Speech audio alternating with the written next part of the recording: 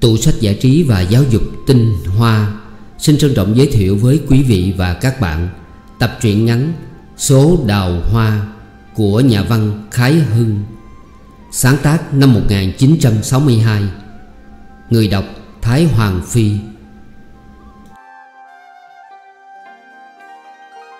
Truyện thứ hai, Đi Nam Kỳ. Anh Cán xin đi Nam Kỳ.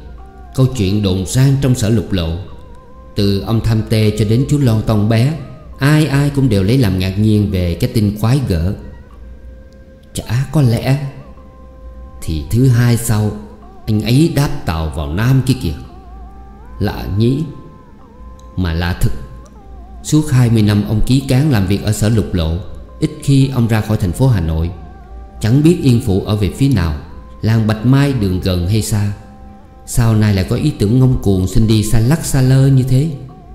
Cũng chẳng phải có điều gì làm mất lòng quan trên mà phẫn trí. Trong 20 năm trời, Từ 17 tuổi cho đến năm nay băm bảy Từ khi lương còn 25 đồng cho đến tăng gần 80 Ông ký cán vẫn làm tròn bổn phận, Sổ không cộng sai một cột, Tiền không hề thiếu một hào. Đối với quan trên, Ông là người được việc, Cùng anh em đồng sự là người bạn tốt, Hiền lành, ít nói. Ông tham tê thì thầm với ông phán cơn. Có lẽ từ ngày vợ nó chết, Nó buồn bực, Phát cáu. Không, Nó lấy con đầu lan đã gần hai năm nay, Buồn gì mà buồn. Đầu Lan ở Tuyên Quang, Về Hà Nội, Mở nhà hát ở phố Khâm Thiên được một tháng, Thì tình cờ gặp ông Ký Cán. Hồi đó nhân vợ mới chết, Ông Ký tháng ngày, Âu sầu phiền não. Nên anh em thương hại đến rủ đi đập trống cho khuây khỏa. Ai ngờ duyên trăm năm, Ông tơ định sẵn từ xưa. Chẳng bao lâu, cô Đầu Lan đã trở nên bà Ký. Về nhà ông Ký, Lan tỏ ra là người đảm đang đứng đắn, Làm lụng suốt ngày, Nên được chồng yêu thương vị nể. Duyên càng đượm tình càng nồng, Trong khoảng một năm trời, Tình keo sơn như ngày thêm khăng khích. Bỗng hơn tháng nay, Lan đổi hẳn tính nết. Trước chăm chỉ bao nhiêu thì nay lười biếng bấy nhiêu. Khi chồng ở nhà thì chỉ ngủ. Chồng đến sở là nhảy tót đi chơi. Sáng gần 11 giờ, Chiều gần 5 giờ mới về. Trước Thùy Mị ngọt ngào biết mấy, Nay thì cao có các cổng suốt ngày. Chửi mắng đầy tớ lèm bèm, Bắt bẻ vẽ hẹ chồng từng tí. Chồng thấy vợ thế càng chiều. Lạ gì hạng người nhu nhược, Bao nhiêu lỗi thường cho là ở mình cả. Có khi lẩn thẩn Ông ký nghĩ quanh. Nó quen sung sướng. Được bao công tử chiều chuộng xưa nay, Lấy mình là một sự bất mãn. Ta còn có vẻ gì đẹp trai nữa Mà bảo nó thích được. Thôi, Ta cố làm cho nó bằng lòng, Vận mạng nó đã gửi vào tay ta kia mà. Từ đó ông Ký cố đi kiếm thêm việc ngoài làm Cho rộng tiền tiêu. Chịu khó lần mò tìm đến xin việc các nhà buôn, Mượn thầy giáo trông coi việc học cho con. Như thế có tháng kiếm được đến ba bốn chục bạc. Trong khi ấy thì Lan vẫn buồn. Khốn nạn Con biết làm thế nào cho vui lòng người yêu chẳng đừng được. Ông Ký ngỏ lời hỏi vợ. Vậy à, mợ muốn gì? Lan nũng nịu. Em chỉ muốn đi Sài Gòn. Thế là ông Ký cán đệ đơn xin đổi đi Nam Kỳ. Hôm nay ở sở về Ông Ký cầm chiếc phong bì vàng to tướng hớn hở bảo vợ. Được rồi. Được cái gì? Đi Sài Gòn. Thế à cậu? Trời ơi, cậu yêu em quá. Thế bao giờ đi hả cậu? Thứ hai sau Chết, thu xếp sao kịp? Xin hoãn được không cậu? Không được. Nhưng còn bác họ đằng bà thăm công, Mãi cuối tháng người ta mới Hay cậu vào trước, Em thu xếp xong vào sau. Ông ký ngần ngừ. Thôi, cũng được. Trong tuần lễ trước ngày ly biệt, Vợ chồng ông ký âu yếm nhau không xiết kể. Ông ký thấy vậy cảm động. Mình yêu tôi quá. Chả yêu mình còn yêu ai, Rõ lẫn thẫn lắm. Bà bốn tháng này tôi không được mình yêu như thế. Tôi đã ngờ mình chán tôi rồi. Không nên ngờ Hảo, biết chưa?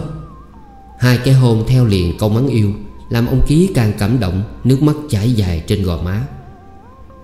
Nửa tháng sau, Trong phòng ngủ nhà ông thăm ái, Lan đứng trước tủ gương chải đầu, Tủm tỉm cười với bóng, Có vẻ tự đắc rằng mình vẫn đẹp. Cậu, Trên giường Hồng Kông Cậu tham ngủ mệt vẫn không thưa. Lan đến bên lấy tay lai mạnh.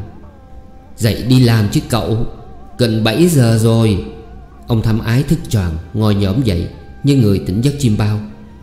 Cái gì thế mà Bảy rưỡi rồi, Dậy đi làm. Này cậu Cậu có biết ừ, Vì sao em yêu cậu không? Không. Tại cậu ngoan Dễ bảo Nên em yêu nhé. Vậy em bảo cậu dậy Sao cậu còn nằm lì ra đấy? Ừ thì dậy này. Cậu ạ à, Hôm nay nó đến nơi rồi đấy nhỉ? Đến Sài Gòn ấy mà. À Cớm Thằng cha càng qua Không biết nó đi Nam Kỳ làm cái thơ gì thế? Nhưng nó không càn Không ngu thế thì Dễ thường cậu đã lấy được em à, cậu ạ. À. Em mà không lấy được cậu Thì nay em khổ quá nhỉ Cậu nhỉ? Em lan báo cậu quá. Ông thăm ái làm việc tại phòng giấy phủ toàn quyền Lương ngoài trăm tám. Hèn gì mà Lan chẳng thích hơn ký cán. Thích hơn ngay từ 3 tháng Trước khi ký cán đi Nam Kỳ. Và tham ái là người hoàn toàn đủ nết tốt Trai trẻ, chưa vợ. Bồ cô cha mẹ. Lan lẩm bẩm thường nói một mình, Lấy nó thì tha hồ làm mẹ nó. Được chưa gần nửa năm, Lan gần như làm mẹ thật. Mà có khó gì đâu, Chỉ đem cái chính sách đã thi hành với người chồng thứ nhất, Yêu rồi lớn. Nhưng thường trong tình giới, Hai cái tính tình ấy không thể đi đôi với nhau được. Người nào mình đã lớn nổi Thì khó lòng mà yêu được. Lúc đó những tính xấu của người yêu Sao hiện ra lắm thế? Nào những nó nhu nhược, nó gàn Nó nói ngay như cua. Đến cái tình ân ái nồng nàn của ai Mình cũng cho là một tật xấu. Gớm Thằng cha si tình Ngu ngốc bực mình chết đi được. Tới trình độ ấy thì bao cảm tình đã đổi ra lãnh đạm rồi. Mà từ lãnh đạm đến ác cảm chỉ có một bước. Đến nỗi ăn ở với nhau có 9 tháng Trong buồn ngủ ông tham ái đã xảy ra tấn bi hài kịch sau này. Lan nũng nịu nói với chồng, Cậu ơi, Cậu có còn yêu em nữa không? Em không trông thấy à. Bây giờ cậu yêu em Lại gấp trăm gấp nghìn ngày Cậu mới biết em. Thế cậu có chiều em không? Chả chiều em thì chiều ai? Em muốn gì cậu cũng cho nhá, Cũng cho. Cậu có biết tại sao ít lâu nay Em hay buồn bã cắt cổng không? Tại em không yêu cậu nữa. Không phải nha. Tại em chỉ muốn đi Sài Gòn. Vậy cậu làm giấy xin đổi vào trong ấy cho em theo vào nhá, Cậu nhá. Đi Nam Kỳ. Ừ đi Nam Kỳ nhá, Cậu nhá. Ông Tham ngẫm nghĩ, thở dài nói một mình. Đi Nam Kỳ. 1932 Hết chuyện. Chuyện thứ ba. Cái thù 30 năm. Tối hôm ấy, nhà ông Nghị Tài chèo hát linh đình. Ông Nghị ăn mừng cậu Giang đậu cử nhân luật ở Pháp mới về. Ngoài sân, gánh chèo dựng rạp buông màn ra trò, chung quanh người đứng xem chật ních. Bỗng trong đám đông người có tiếng thét. Khuya rồi, Không được chống hát nữa, Để cụ lớn an giấc. Rồi người nọ ẩy người kia ôm sờm rối rít Một gia nhân ở trên gác xuống ra sân nói to. Thằng nào cấm hát Có tiếng đáp lại Thằng này Người kia sấn lại. Rồi một bên năm sáu người ùa vào bên. Một bên thì bọn người nhà ông Nghị kéo ra giúp sức Thành ra một cuộc ẩu đả loạn xạ. Tiếng gậy đập chen lẫn tiếng chó sủa. Những người đi xem thấy vậy kéo nhau chạy tán loạn Xéo bừa cả lên trống chiên Thanh la, não bạc Làm đứt cả màn, đổ cả rạp Dựng bằng bốn bức phên tre nứa. Trong đám ồn ào có tiếng ai nói to Chúng mày lui, không được đánh nhau. Bọn người nhà ông Nghị Vừa lùi vừa bảo nhau Cậu cử, cậu cử Một người trẻ tuổi vẫn âu phục sấn tới Ôn tồn nói với Minh Địch anh em là người nhà của cụ thường ở bên cạnh đấy à. Có phải chống chiên làm mất giấc ngủ của cụ lớn Thì tôi cho họ nghỉ hát. Nhưng lần sau anh em có điều gì nên cứ nói với tôi Hay cụ tôi là được như ý ngay. Can gì phải dùng đến võ lực. Bọn khởi chiến thấy con chủ nhân phân phải nhã nhặn Cùng nhau lùi cả. Muốn biết duyên do câu chuyện ẩu đả ấy, Ta phải lùi lại 30 năm. Năm ấy, ông Nghị còn là bác xã tài, Ra tranh chức phó lý trong làng. Vì có chuyện bất bình, Em quan thượng Bùi, Hồi đó đương là tổng đốc Hải Dương, Viết thư cho anh kể xấu xã tài. Quan thượng nghe lời em liền can thiệp tới việc bầu cử. Nên xã tài không được lên ăn trên ngồi chốc ở chốn đình chung. Phần bực tức, phần xấu hổ, phần có ý định riêng. Xã tài bán sạch nhà cửa vườn ruộng độ ngót nghìn bạc Rồi đưa vợ con ra Hà Nội ở. Thề rằng khi nào có thể rửa được hờn xưa Mới lại quay về làng cũ. Ra Hà Nội xã tài tìm đến một người bà con Đang làm thầu khoáng Giải bày hết tâm can Và ngõ ý quả quyết làm giàu. Hồi đó nhằm lúc nhà nước làm con đường xe hỏa Hà Nội Lạng Sơn. Bác xã nhờ công việc thầu gỗ mà lên như chiều. Rồi bác ta xoay đủ nghề Nghề thầu khoáng làm nhà, đắp đê, vận tải Cho vay cầm đồ, buôn sơn cho chí cả nghề buôn thuốc phiện. Lòng quả quyết rửa hờn giúp bác xã thêm hăng hái Can đảm Có khi tàn nhẫn, mang trá Lừa đảo vô nhân đạo. Nhưng Không hề gì. Rồi một ngày kia ta giàu có. Ta sẽ làm điều thiện để chuộc tội với trời. Bây giờ mục đích ta chỉ có một, đó là làm giàu. Mười năm sau, bác giàu. Hai mươi năm sau, bác có cửa hàng năm sáu chục muôn. Lại thêm vẻ vang cái chức mà Hà Thành cho bác. Ông Nghị Ông Nghị liền sắp sửa khởi công báo thù. Vào hồi ấy thì gia thế quan thượng Bùi ra sao? Quan thượng hồi hưu đã lâu. Ông con cả đương tri phủ Hoài Đức. Sinh được một trai tổng học tại trường cao đẳng sư phạm Và một gái năm ấy lên 8 tuổi. Ông Phủ cho theo học ở trường Hàn Cót. Ông nghĩ tài nghĩ thầm, Như thế thì Tuy mình có hơn người ta chữ phú, Người ta vẫn hơn mình chữ quý. Nay dẫu về làng quên hoang của cái Cũng chẳng chục nổi, Cái tiếng xấu xa hai chục năm về trước. Mà nay thì mình đã ngoài 50 tuổi Còn thế nào chạy chọn được chức nọ chức kia? Phẩm hàm quyên thì ai trọng? Nhưng ông nghĩ còn hy vọng. Người con thứ tư năm nay 14 tuổi Học hành chăm chỉ, tính chất thông minh. Sau này thế nào cũng làm nên. Ông nghĩ mừng thầm. Nó sẽ làm quan vị Ta muốn thế. Một buổi chiều một chiếc ô tô hòm vào phủ. Ông Phủ còn đương bỡ ngỡ chưa biết khách nào, Thì ông nghị Tài đã ở xe bước xuống, Vái chào rồi xưng tên tuổi quê quán. Bẩm quan lớn, Tôi mới được biết quan lớn trọng nhậm ở đây Nên đi qua vào thăm.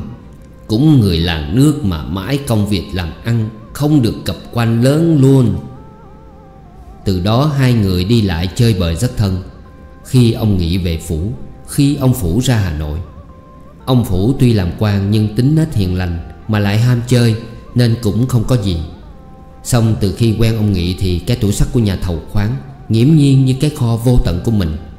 Ngõ lời vay một trăm, Là ông Nghị đưa hai ba trăm, Chẳng có văn tự văn khế gì. Ông Phủ có nhắc làm giấy cho cẩn thận Thì ông Nghị gạt vội đi. Chỗ người làn người nước với nhau, Quan lên cứ bày vẽ. Thành thử sẵn tiền, Ông Phủ cứ chơi tràn. Hát sướng cờ bạc đủ thứ. Mà cái kết quả của sự chơi bời thái quá Thì bao giờ cũng chỉ có một, Làm bạn với cô ả Phù Dung, Tức là nghiện thuốc phiện. Mấy năm sau, Ông Phủ vì trễ nải, Bị đổi lên mạng ngược, Rồi nhà nước lại bắt phải về hưu. Khi ông Phủ về làng cùng ở với cha già, Thì con trai đã đi giáo học. Còn cô Liên đương học năm thứ ba Ở trường nữ sư phạm.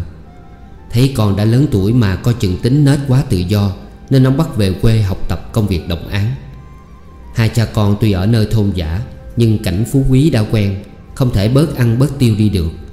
Kẻ hầu người hạ vẫn tấp nập như xưa, Lại thêm cảnh quê buồn Thường phải bày ra cờ bạc, Rồi đón bạn bè phương xa về chơi, Ăn uống tiệc tùng như hội quanh năm. Ông Nghị Tài hình như cũng chán cảnh phồn hoa, Muốn về làng dưỡng lão. Một hôm, ông đến chơi Hầu tổ tôm cụ thượng, Chuyện trò thân mật rồi gợi ý Bẩm cụ lớn. Chúng cháu chỉ muốn được ở gần cụ lớn Để được hầu tổ tôm luôn. Này cụ lớn đã ngoài 70 Mà cháu cũng ngoài 60 Chỉ nên đi dưỡng tính tình cho qua ngày tháng.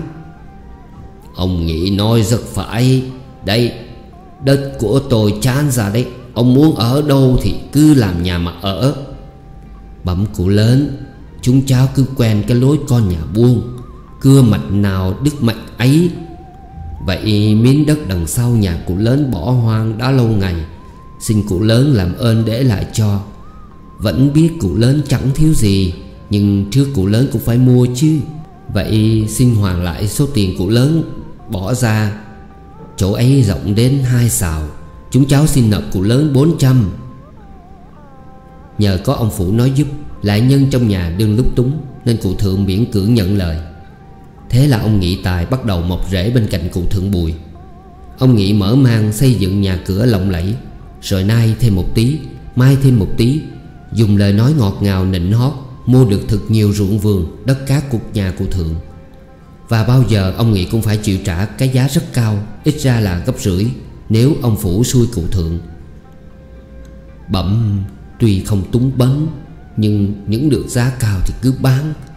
Bán một chục mẫu ta có thể đủ tiền mua được 15-16 mẫu kia mà. Nhưng bán được tiền, nào có mua ruộng, Hai cha con chỉ ăn tiêu phung phí hết. Đến nay thì cụ Thượng Bùi với ông Phủ Cơ nghiệp chỉ còn lại 10 mẫu ruộng. Chỗ đất ở vào khoảng gần một mẫu Thì đã đỡ cho ông nghị tài. Hẹn sang năm không trả được nợ Thì người cho vay cứ việc cấm. Đã gần đến ngày trả được thù, Ông Nghị liền dở mặt Không đi lại chơi bời thân mật nữa. Chỉ còn chờ ngày đến cấm nhà. Họ Bùi, họ Nguyễn từ đó ghét nhau ra mặt. Bày đặt chuyện này chuyện khác để trêu tức nhau. Vì thế nên hôm nay bên ông Nghị hát chèo, Ăn mừng cậu con đậu lục khoa cử nhân ở Pháp về. Cũng chỉ là để chọc gan bên hàng xóm.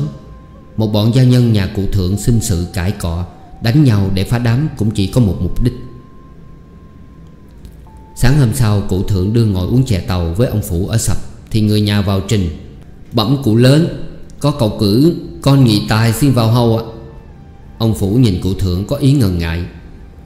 Nó cho con sàn nhắc nợ chăng? Cái món nợ ấy mãi đến sàn năm mới tới hạn kia mà. Được, Cứ để cho nó hy vọng cấm nỗi nhà ta. Nhưng bây giờ có tiếp con nó không? Bấm, cứ cho nó vào, Xem nó đi tay về, Lố lăng đến bực nào. Rồi ông Phủ quay ra bảo người nhà. Đâu, Bảo cậu ấy vào đây. Một lát cử Giang vào Kính cẩn cúi đầu lễ. Ông Phủ không mời ngồi, hỏi sẵn, Có việc gì thế? Bẩm cụ lớn, Hôm qua chúng cháu sơ ý cho đánh trống khuya, Làm phiền lòng cụ lớn, Vậy chúng cháu sang xin lỗi cụ lớn.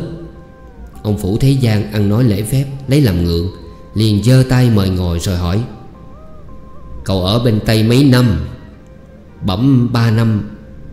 Lúc ấy một người con gái tay bưng cái đĩa tay Ở ngoài sòng sọc chạy vào, Vừa cười vừa nói, Bẩm ông, Cái gato hôm nay con làm khéo quá. Gato tức là bánh ngọt. Bỗng trong thấy Giang, Bẽn lẽn đứng dừng lại Rồi đặt vội đĩa bánh lên bàn, Cắm đầu chạy thẳng. Cụ thượng cười, Cử Giang thì hai má đỏ bừng đứng dậy xin lỗi lần nữa, Rồi cung kính vái chào cáo từ. Cách mấy hôm sau, Giang đi săn, Cứ quanh quần bên lưỡi tre nhà cụ thượng. Bỗng gặp con chim gáy Giang chĩa súng bắn, Con chim bị đạn rơi vào trong vườn. Đường lơm khom nhìn xem có lối vào nhặt chim, Thì thấy cô gái bưng bánh hôm nọ, Đưa ngồi xem sách ở gốc cây ổi. Đánh bạo Giang cất tiếng chào. Thưa cô Cô làm ơn quăng dùm con chim ra cho ạ. Ai là người nhặt chim cho anh? Thưa cô, nếu cô không nhặt hộ, Thì tôi kính dân cụ lớn quan lớn và cô ạ. Ai thèm ăn của của anh Thưa cô Cô đừng đọc sách gì đấy ạ. Việc gì đến anh? Anh khôn hồn bước ngay. Thầy tôi mà trông thấy thì anh bỏ đời. Thưa cô, được bỏ đời ở trước mặt cô Thì còn gì hơn hạnh bằng?